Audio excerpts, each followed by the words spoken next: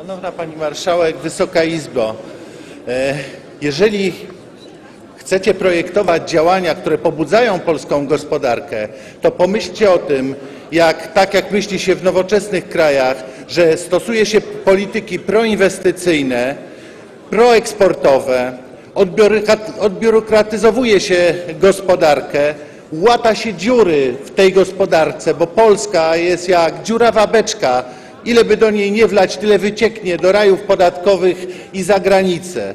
E, Realne inwestycje to jest rozwiązanie, a nie poszukiwanie e, zysków w kieszeni pracujących ludzi, którzy już i tak nie są w stanie wytrzymywać niskiego poziomu płac, niskiego poziomu życia, jaki mamy w Polsce.